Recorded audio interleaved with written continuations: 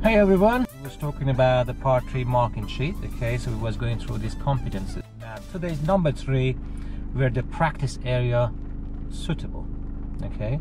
Now, of course you know guys these things, okay, so you need to make sure you know the area. It's easier for you, okay, to give better instructions and giving better directions as well, of course, to your student.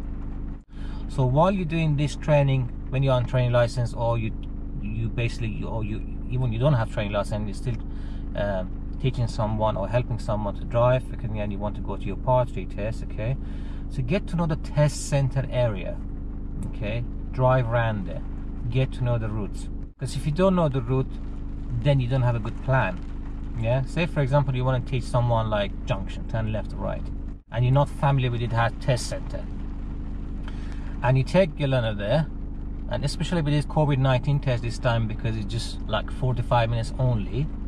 And then during test now you don't know where you're going you don't have any plan you don't know where the roads are and suddenly you end up between the carriageway or motorway on a massive huge roundabout. That's the last thing you want. So make sure get to know the area very well. It's easier for you basically to give directions easier to give instructions as well okay and you feel more confidence as well okay yeah? And you need to make sure that uh, come back to the end of the test on time okay uh, before 45 minutes.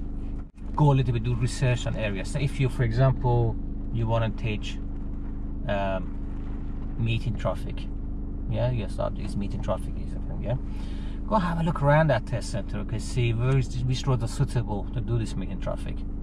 If your learner is not really good at roundabout yet for example you don't want to take them to roads that like okay have some meeting traffic between parked cars also have few few roundabout between them. Yeah? It will be hard work for you because now you're going to deal with roundabout at the same time as meeting traffic same time as well okay? So you're going to be too much for you to deal with okay? So get to know the area so you know where you're going and then um, make your life a lot a lot easier it's very important get to know the area guys okay? I hope that this video was useful. It's quite short video was but it's not really much thing to explain about this one. Is it's quite makes sense really. You need to know the area you know the subject that you choose okay? For now goodbye